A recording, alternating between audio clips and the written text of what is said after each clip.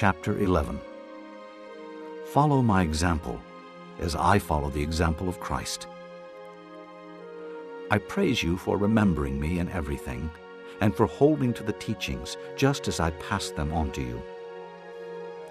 Now I want you to realize that the head of every man is Christ, and the head of the woman is man, and the head of Christ is God. Every man who prays or prophesies with his head covered dishonors his head, and every woman who prays or prophesies with her head uncovered dishonors her head. It is just as though her head were shaved. If a woman does not cover her head, she should have her hair cut off. And if it is a disgrace for a woman to have her hair cut or shaved off, she should cover her head. A man ought not to cover his head, since he is the image and glory of God, but the woman is the glory of man. For man did not come from woman, but woman from man. Neither was man created for woman, but woman for man.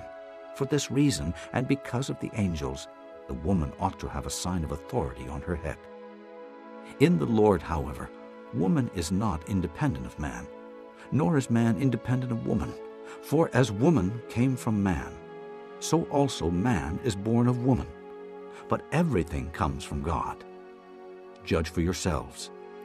Is it proper for a woman to pray to God with her head uncovered? Does not the very nature of things teach you that if a man has long hair, it is a disgrace to him? But that if a woman has long hair, it is her glory? For long hair is given to her as a covering. If anyone wants to be contentious about this, we have no other practice, nor do the churches of God.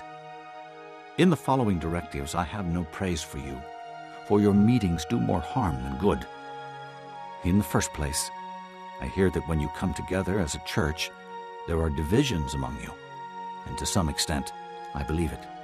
No doubt there have to be differences among you to show which of you have God's approval. When you come together, it is not the Lord's Supper you eat.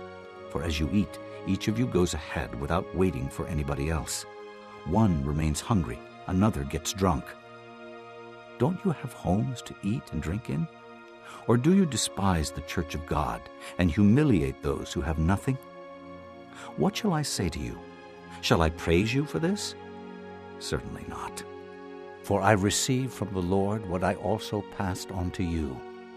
The Lord Jesus, on the night he was betrayed, took bread, and when he had given thanks, he broke it and said, This is my body, which is for you. Do this in remembrance of me. In the same way, after supper, he took the cup, saying, This cup is the new covenant in my blood. Do this whenever you drink it in remembrance of me. For whenever you eat this bread and drink this cup, you proclaim the Lord's death until he comes. Therefore, whoever eats the bread or drinks the cup of the Lord in an unworthy manner will be guilty of sinning against the body and blood of the Lord. A man ought to examine himself before he eats of the bread and drinks of the cup. For anyone who eats and drinks without recognizing the body of the Lord eats and drinks judgment on himself. That is why many among you are weak and sick, and a number of you have fallen asleep. But if we judged ourselves, we would not come under judgment. When we are judged by the Lord, we are being disciplined so that we will not be condemned with the world. So then, my brothers, when you come together to eat, wait for each other. If anyone is hungry, he should eat at home, so that when you meet together, it may not result in judgment. And when I come, I will give further directions.